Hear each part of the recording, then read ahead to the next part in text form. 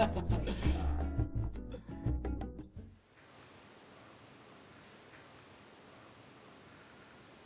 not sure if it's straight. It looks...